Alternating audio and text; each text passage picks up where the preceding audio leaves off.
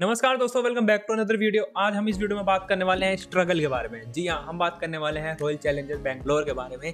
तो जिन्होंने स्ट्रगल तो बहुत ज़्यादा करा है अपनी लाइफ में बेचारे अभी तक एक भी ट्रॉफी अपने नाम नहीं कर पाए। काफ़ी ज़्यादा मज़बूत टीम है, काफ़ी ज़्यादा अच्छी टीम है, हर बार स्ट्रगल करके रह जाती है, पर ट्रॉफी नहीं आ पाती। फ़िलहाल तो हम लोग बात करेंगे आज इस टीम की प्लेइंग इलेवन के बारे में। देखेंगे इस वीडियो में कौन कौन से प्लेयर यहाँ पर इनकी टीम से खेलने वाले हैं। देनेंगे वीडियो में। तो फ़िलहाल तो वीडियो के साथ एंड तक बने रहिए। चैनल को सब्सक्राइब वीडियो को लाइक करना मत भूलना। तो भाई सबसे पहले तो भाई बढ़ते हैं अपने टॉपिक की ओर। ओके तो भाई सबसे पहले बात कर लेते हैं यहाँ पर रॉयल चैलेंजर बैंगलोर के आईपीएल 2024 के स्कोर के बारे में। यहाँ पर विकेट कीपर कौन होने वाले हैं? ऑलराउंडर कौन होने वाले हैं? बैट्समैन कौन होने वाले हैं? और वगैरह वगैरह क्या क्या होने वाला तो सबसे पहले तो शुरुआत करते हैं। विकेट कीपर की ओर से। तो देखो विकेट कीपर यहाँ पर रॉयल चैलेंजर बैंगलोर की विकेट कीपर में दो प्लेयर्स देखने के लिए मिल सकते हैं हम लोगों को। अनुज रावत है दिनेश कार्ड वही बात करें बैट्समैन की, भाई बैट्समैन में कौन कौन से है? इनकी टीम में बैट्समैन काफ़ी ज़्यादा अच्छे खासे होते हैं पावरफुल बैट्समैन होते हैं।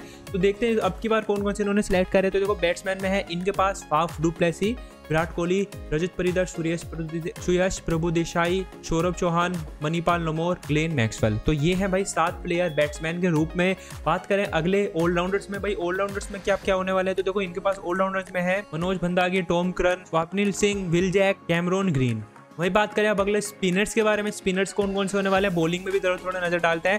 फास्ट बॉलर और स्पिनर सबसे पहले बात करते हैं स्पिनर्स की। तो स्पिनर्स में इनके पास है भाई चार ऑप्शन करण शर्मा, मयंक दर्ग, हिमांशु शर्मा, विजय कुमार, विकास। तो यहाँ पर बात करें अब ऑलराउंडर के बाद। यहाँ पर हम बात करते हैं फास्ट बॉलर्स की। तो भाई फास्ट बॉलर कौन कौन से होने वाले वाले इनकी टीम में? तो देखो इनकी टीम में फास्ट बॉलर पे है अक्षदीप मोहम्मद सिराज राजन कुमार ऋषि trophy Alzarri Joseph Lockie Ferguson and Yash Dayal देखो, ये है भाई इनकी पूरी स्पोर्ट जो कि बनी है अलग अलग विभागों में बटी है fast bowler spinner allrounder batsman and wicket keeper के रूप में।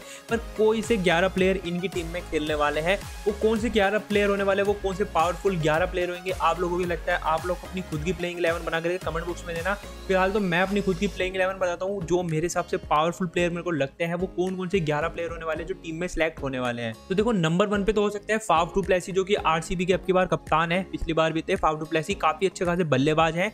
ओपनर के रूप में मुझे ऐसा लगता है सबसे बेस्ट ऑप्शन होने वाला है और पावर प्ले में भी काफ़ी अच्छा प्रदर्शन दे, देते हैं। फ़िलहाल तो बात करें विराट कोहली की दो दूसरे नंबर पे होने वाले हैं। तो गाइस विराट कोहली तो सभी के फेवरेट है ही है भाई मेरे को लगता है ये दूसरे नंबर पे उतरने वाले हैं अब की बार क्योंकि भाई काफ़ी ज़्यादा पावरफुल बल्लेबाजी करते हैं और स्टेबिलिटी प्रोवाइड करते हैं स्टार्टिंग में अपनी टीम को।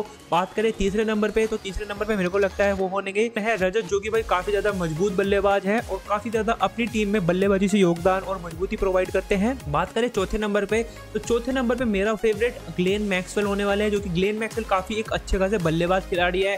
गेंदबाजी में भी काफ़ी ज़्यादा योगदान करते हैं।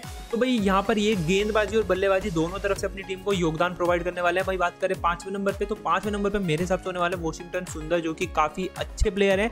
वॉशिंगटन सुंदर बहुत ही ज़्यादा सुंदर खेलते हैं बल्लेबाजी और गेंदबाजी दोनों में ही बात करें। छठे नंबर पर तो छठे नंबर पे हमारे होने वाले हैं दिनेश कार्तिक, जो कि दिनेश कार्तिक अच्छे खासे बल्लेबाज विकेट कीपर दोनों ही तरफ़ से यहाँ पर टीम को सपोर्ट करने वाले हैं। बात करें सातवें नंबर पर तो सातवें नंबर पर होने वाले कैमरोन ग्रीन, जो कि एक आरसीबी के काफ़ी अच्छे प्लेयर हैं ऑलराउंडर है, बल्लेबाज है, गेंदबाज है, यानी कि पूरा जो है ऑलराउंडर का इनका काम है, इनका पूरा जिम्मा ऑलराउंडिंग यानी कि बल्लेबाजी, गेंदबाजी, तीन उम्र है यहाँ पर निर्भर बात करें आठवें नंबर पर तो करण शर्मा होने वाले हैं। करण शर्मा बहुत ही ज़्यादा इंपॉर्टेंट बल्लेबाज, गेंदबाज होने वाले हैं अपनी टीम से, जो कि मुख्य रूप से गेंदबाजी की तरफ़ से अपनी टीम को सपोर्ट करने वाले हैं। बात करें नौवे नंबर पर तो नौवे नंबर पर है मोहम्मद सिराज। मोहम्मद सिराज का भी काफ़ी ज़्यादा महत्वपूर्ण योगदान होने वाला है। गेंदबाजी की तरफ़ से बात करें दसवें नंबर पर तो लोकी फर्गेशन एंड ग्यारहवें पे है अक्षदीप दोनों ही टीम, दोनों ही प्लेयर काफ़ी ज़्यादा मज़बूत प्लेयर है। बंदे, गेंदबाजी में दोनों ही टीम अपनी टीम को सपोर्ट करते हैं। तो भाई मेरे को यही लगता है, भाई दसवें नंबर पर लोगी फर्गसन एंड अक्षदीप काफ़ी ज़्यादा अच्छा ऑप्शन होने वाला है। तो भाई ये बनी मेरी खुद की प्लेइंग इलेवन आप लोगों को लगता है, आप लोगों की खुद की प्लेइंग इलेवन क्या हो सकती है? अपनी खुद की प्लेइंग इलेवन बना करके कमेंट बॉक्स में देना मत भूलना। अगर जो आप लोगों को लगता है कि भाई इसमें कुछ है, भाई यहाँ पर ये प्लेयर वो तो इन्फॉर्मेशन शेयर करो कमेंट बॉक्स में जाकर के वीडियो पसंद आई तो लाइक करना चैनल को सब्सक्राइब करना। फ़िलहाल तो मिलते हैं अगली वीडियो में। फ़िलहाल हम लोगों ने काफ़ी सारे और भी टीम की प्लेइंग इलेवन बना करके दी है और बहुत ही सारे प्लेयर्स की यहाँ पर स्पोर्ट बात करिए वो वीडियोज़ भी आप चेकआउट कर सकते हैं। फ़िलहाल तो मिलते हैं अगली फ़िलहाल मिलते हैं अगले वीडियो में, तब तक के लिए।